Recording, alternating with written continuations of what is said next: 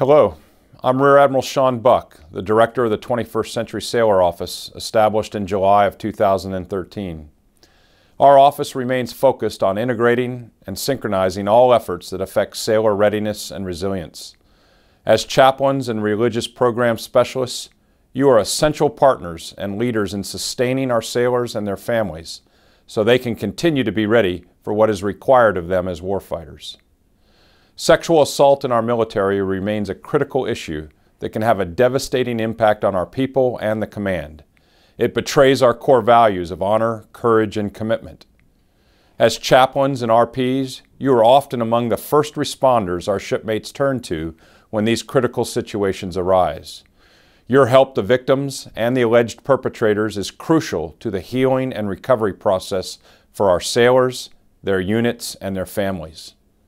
You provide a safe place for sailors to turn to with complete confidentiality to help process what they've experienced as well as to learn about their reporting options.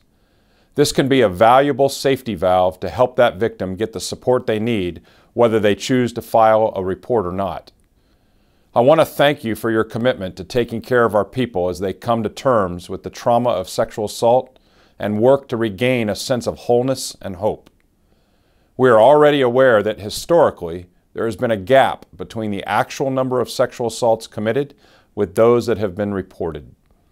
The training you will receive over the next three days will further enhance your existing skills in the caring for victims of sexual assault as they navigate through the reporting, support, and legal processes.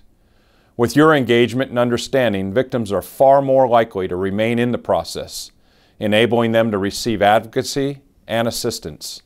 Your support for victims will also allow offenders to be held appropriately accountable. You are a key partner in the SAPR process, and with your help, we can move to eradicate sexual assault from our ranks. Thank you for all that you do to help our sailors and families be ready.